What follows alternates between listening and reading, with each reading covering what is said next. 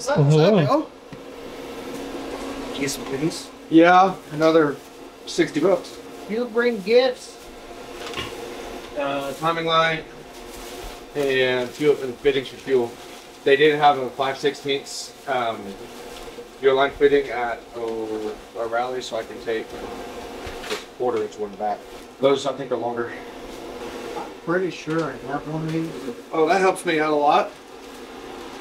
I told you. No, you, you said, oh, I'll go look, but you haven't looked, so I just, well, if you have it, I can take that back. We'll see how that fence sealant works. It's not the one I wanted, but we'll go from there.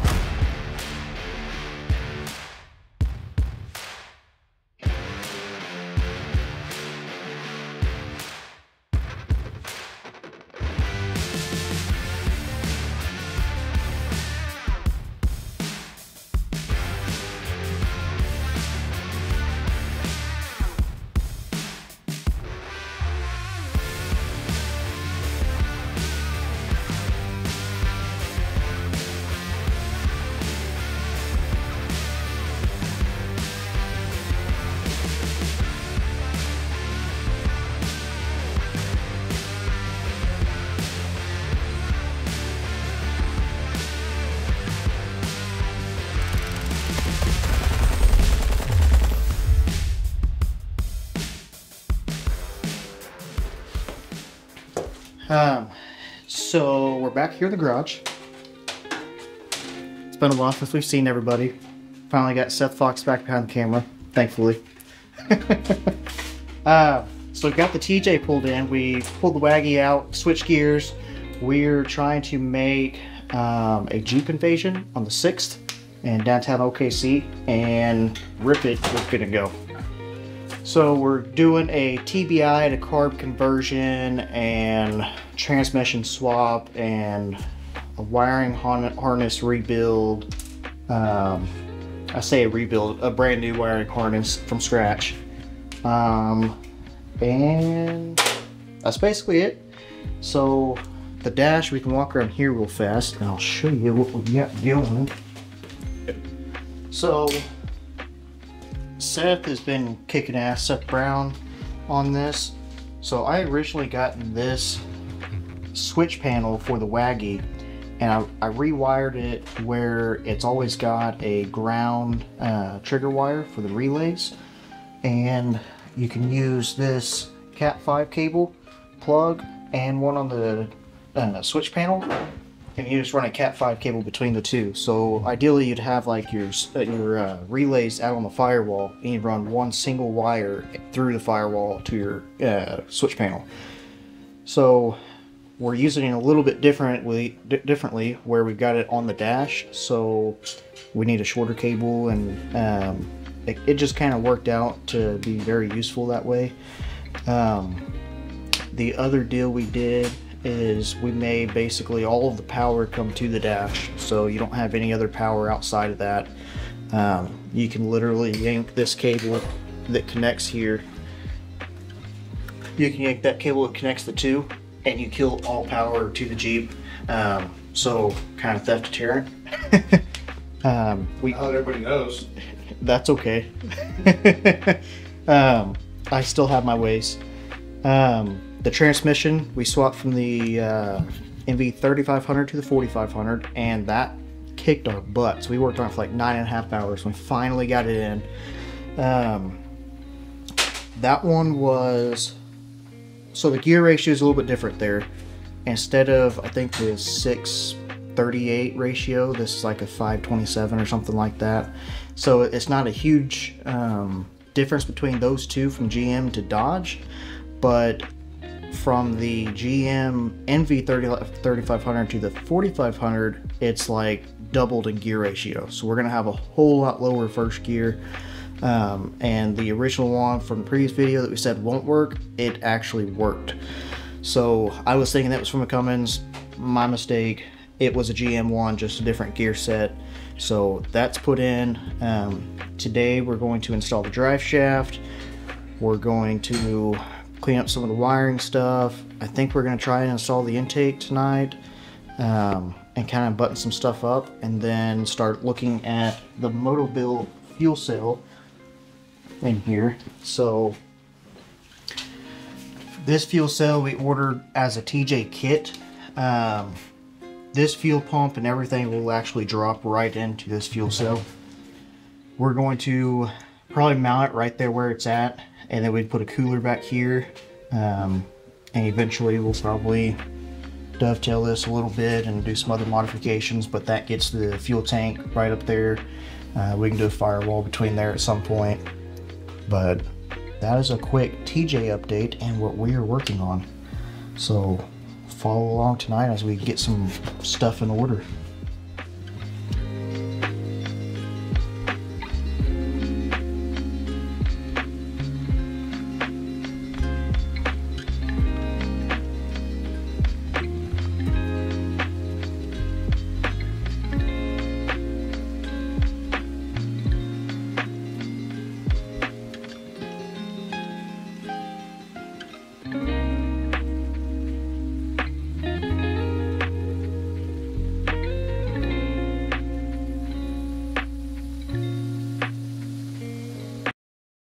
Shout out to Seth Fox. He has kicked ass on this website.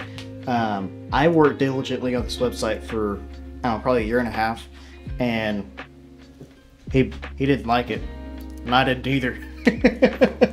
so he uh, he revamped it entirely and built it basically from scratch. I had all the good information there. He just grabbed the information, switched it over. But our website is launching on Tuesday, so Tuesday. Wednesday.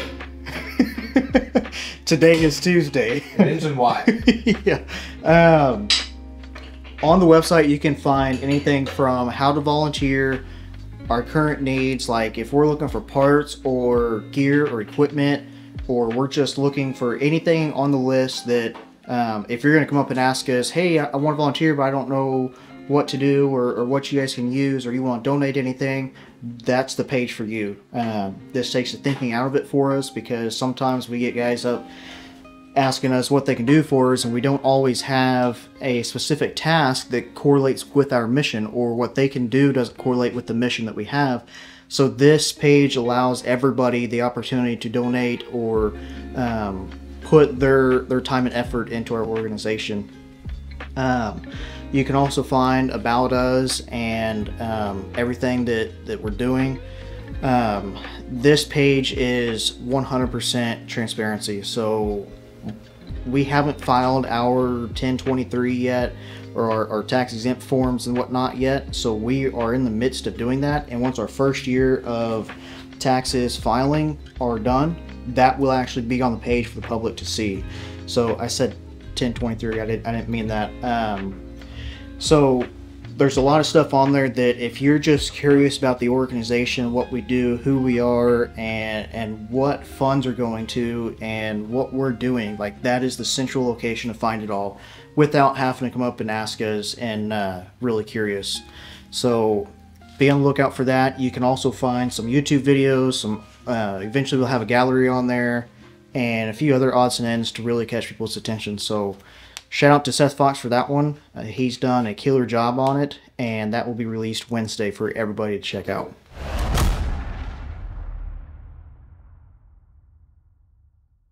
All right, so the carb we're putting on this is a little bit different. Most people are going to see this and think it's well, I don't know what they're going to think because it's it's different. But this is a Predator carb. It is a variable Venturi carburetor.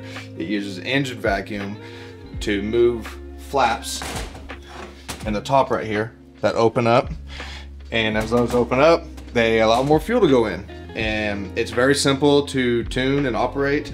There's only a couple screws on the outside. There's no jets, and the magic is behind this plate. This is also the fuel bowl.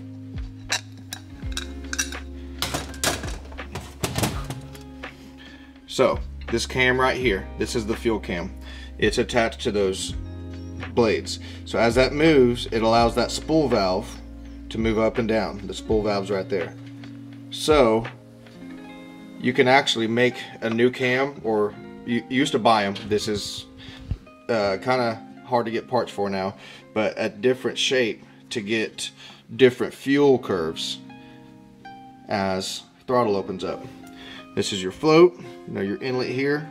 And then this one has the idle control circuit, which is in here that not all of them have. Uh, this one allows you to tune the idle down a little bit lower uh, to closer to 600 RPM instead of more around 1000 RPM. But stupid simple.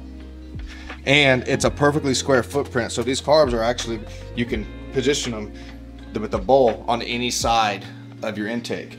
And this one, what we're doing, we're doing it to the front. And the idea behind that is on an incline, fuel is still going to be at in the bottom back corner of the bowl where the pickup is. So ideally, starvation issues should be minimal. And a lot of guys ran these for years in monster trucks, mud trucks, in uh, the like Iceland in their off- off-road racing that they do, which is crazy, and Bigfoot ran them too. So they're really good. They're stupid simple. I think a lot of people aren't sure about it because they're so much different than a Holley style carburetor that this is kind of voodoo. But for what we're doing, it should be great. It's uh, also what we had. I rebuilt this in 2013, and this is the car we used to run on a sand drag car. And uh, well, it's what we had. It'll be better than the TBI. I mean, definitely not worse than the TBI. And uh, maybe it'll uh, prove to be so good that you know it doesn't want nobody wants to take it off. But it'll get us by, and also it'll you know strike up some conversation and uh, maybe some uh, some talk on about it. But NHRA outlawed them back in the 70s, I believe, because Holley said that they were too similar to fuel injection.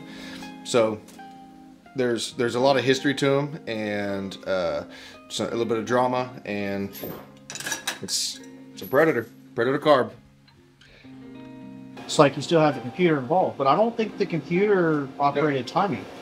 You just No, had external. I think he cord. was just saying like this where the wires come in.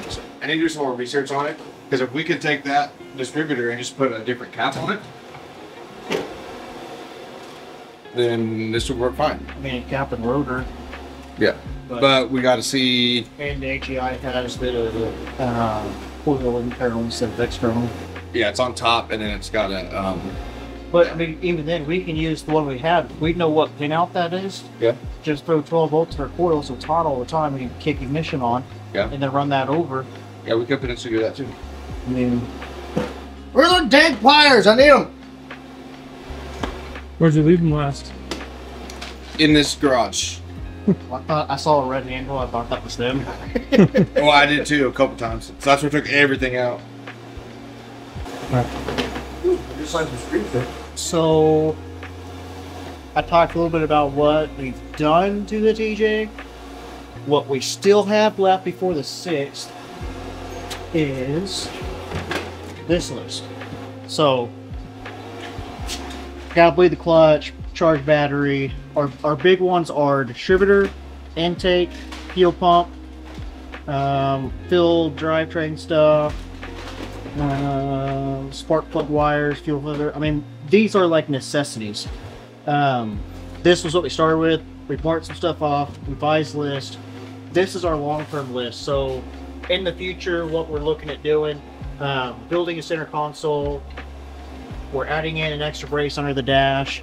Um, harness mounts, building new harness mounts. We got brand new harnesses thanks to Jeff Schmidt. Um, shout out to him. Um, we're going to build a new shock tower. So the previous owner had put one in, but he made it at an angle, and it's just it's not ideal.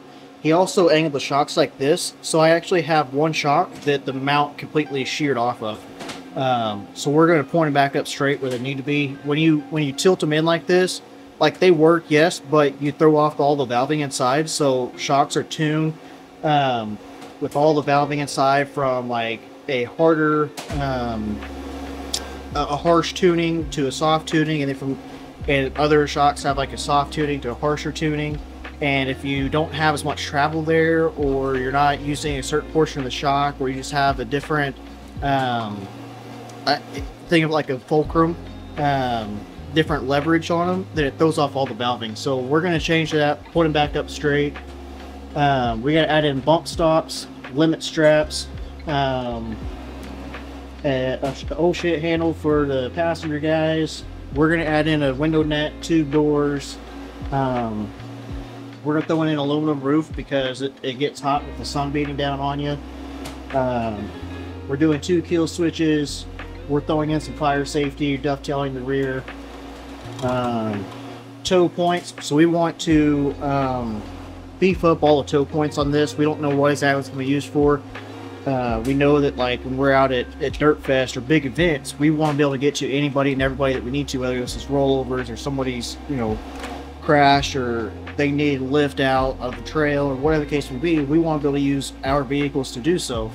So we're going to beef up all the tow points on this and help with that structurally. Um, we're adding in a chase light, and I think we're going to get with psychotic lighting for that one.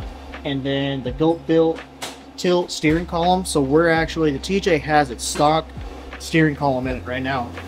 And it is crappy. Like I can barely get out of the, the Jeep because I'm, I'm jumping over a seat bolster. At the same time, I'm clearing a diag door bar, but then the column is like right in my lap. It doesn't tilt. So we're actually going to take the column entirely out and build our own tilt steering column. Um, and then do a quick release wheel and all that sort of stuff. So then anybody can jump in it and it's not just built for, you know, one guy. So um, right now we're in the middle of Seth is getting the intake ready to go on. I painted some valve covers out there. And then if you check out this fuel regulator, so we've got fuel coming in, fuel going out. We're using the stock uh, TJ fuel pump that's internal to the tank. So the idea is later on in the future is we can go EFI with this and then we can keep this fuel regulator here to run the carburetor. So we're pushing what 60 psi is what the the uh, intake pump should be pushing. This regulates it down from like four to seven psi, so the carburetor can handle it. Um, we'll have two gauges on it, so we can monitor it as well. So he's working on that. And then I've still got to throw the drive shaft in and button up some other odds and ends. So we're getting closer, um, but it is definitely taking a little while to get there.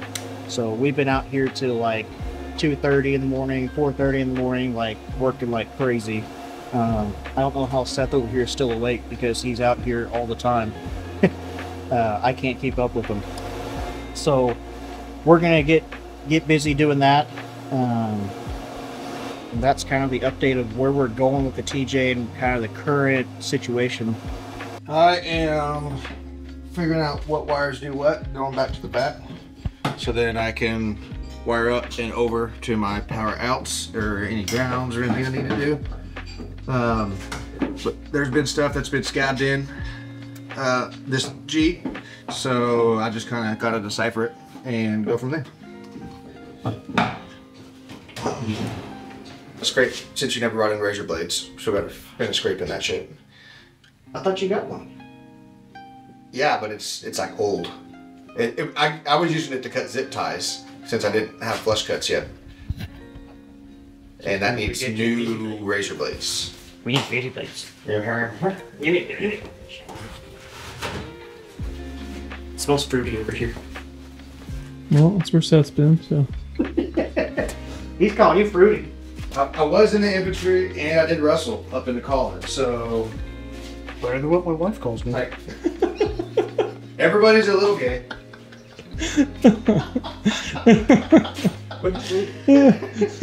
I said, better than what my wife calls me. They're like, everybody's a little gay.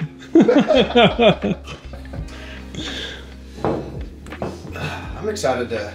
Did Did you see what I uh, my idea if we have to cut the hood, what to do to protect the air cleaner? Uh, So like a dirt late model, um, uh, air cleaner like hood kind of cowl. okay. It'll deflect air and mud and water off, away from the front of it, but uh, it's cool. Yeah. Something like that on the hood Oh, okay, yeah. to just deflect air around it and keep it protected, That would be kind of cool. but kind of class it up a little bit Do you too. have any photos of it like installed on something? Because it's hard, like just seeing what the hood looks like. It's kind of hard to. Ultra four core. Oh, that's pretty sick. Yeah.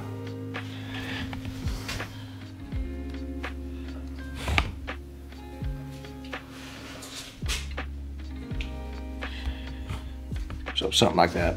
That's pretty cool. And they make them in different heights, so hmm. depending on how high it sticks out, we can kind of match. Nice. I mean, that'd be a. I mean, those are like forty to sixty bucks. A lot cheaper than a whole new hood that we then got to recut out and everything. You know. Yeah, true. I do want to put like the expanded metal or the Yeah. perforated metal behind this, but I think we got to cut that one to match if we move this. Cut it off. Well, or just leave it. Like I, I do like the fact that there's one there, and then we'll- I want to put one under there too. But if we do do that, uh, just to protect sharp edges, uh, to do, and put some type of foam, like rubber surround around that sheet metal to, uh, so if you can still reach in but not cut yourself. That reminds me, I got to get to Lowe's and get some of that uh, weather stripping stuff to go along with it. Yep. Just don't cut our hands putting it up. And then, And then and then, I suppose I'll go get a razor blade and start ripping blades. Multiple. What do you need to scrape? Ow! Oh, oh that freaking hurt. You alright? That really. Oh, and another thing, big thing we got to do is, you know, You alright? Um, Dude, Yeah. that. get the fuel cell mounted, get this one out. Sorry, I almost swallowed my tongue when I sneezed. hurt.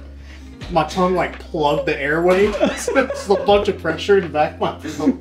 Fucking hurt. We gotta, we need to do that. If you don't laugh when your friends get hurt, are you really friends? I'm just gonna start swapping stuff over. I love watching other people get hurt. We need to get the field installed. We need to get the adapter bracket for this installed on here. All that stuff ready to drop that in. Agreed. Um, Because all of that can go on and then before we mount what were we putting here? uh, a cap. I do not have a cap that size. No cap? We can get one. No cap. Oh shit. We can get one. And for now, I mean, it's not ideal, but for now we can. Did I use that term right? Yeah, uh, I don't know.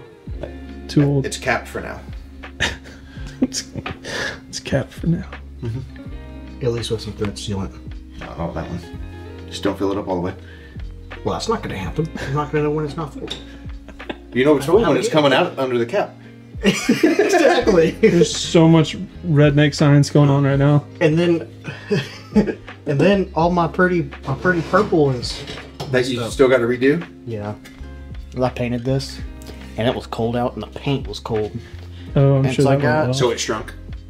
I'm showing you guys my imperfections here, so don't judge. I got a couple runs. Uh, the top looks great. It actually in the light. I had the runs today. Not the same time. so in the light, you can actually see it changes colors to green. Oh, neat. Oh yeah, I see that in there. That looks really cool. Um, yeah, a crap load of runs. So we're gonna redo these. I'm actually thinking I'm gonna take them probably to Powder Rangers or somebody to have them powder coated. Somebody qualified. yeah, somebody qualified. Um, because I can paint, but I'd rather have them powder coated. And then the tank. Should we polish that tank? Or just leave it brushed aluminum? The aluminum though? Well, once we get fuel in it, that'd be kind of hard to. No, go bake, go bake it. Or just leave it how it is. I like the polished look, or the like bare metal look with the painted accents. Personally, Yeah, we could do the the Motobilt logo, a certain color. yeah.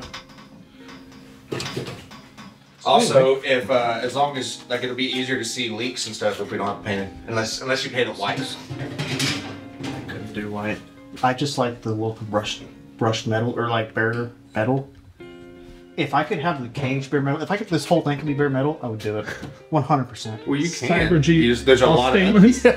like a lot a lot of guys that are out in the drier climates, their cages are bare, and um, but they have to scotch brite them and rub WD forty on them all the time. I was time. gonna say they, they have competitions to show off like weld work and not this weld. Um, but when you're like a solid welder fabricator, they do like the whole body and everything's bare, and they take it to these shows and just like spray WD-40 over the entire thing just to show it off and keep it from rusting. We, we just gotta find a guy that can do that. I know how to run a You would can. think we had a master fabricator in, in house. Well, you think I would be given the chance to do it yet? but I haven't. What's stopping you?